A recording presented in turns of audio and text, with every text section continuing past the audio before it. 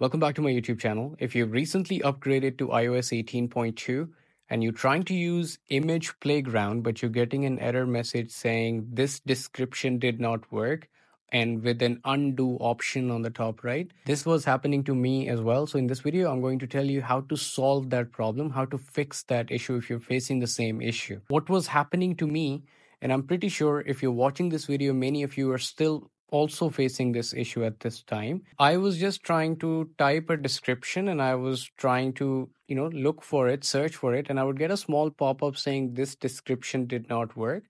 Now, if you see now, it's working just fine. So in this particular example, it just created an image, gave me variations as well, and I can make all sorts of changes with, you know, on this. So it's working just fine.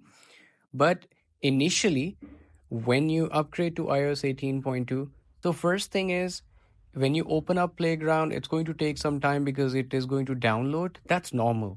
But even after downloading, if it is giving you the error message, what you would need to do to fix this problem is you would need to go to your settings and under settings, search region and it'll give you language and region settings option. So go to language and region settings and under region, you need to once change the region to United States. So in my example, currently, as you guys can see, it is Pakistan and it is working fine. But if you're in Pakistan and it's, it's not working for you, change your region to United States first. So just search for United States and change your region to US. After you change the region to US, it's going to you know work just fine. And if you want to switch your region back to Pakistan, as you can see in my example, I've already done that and it's working for me.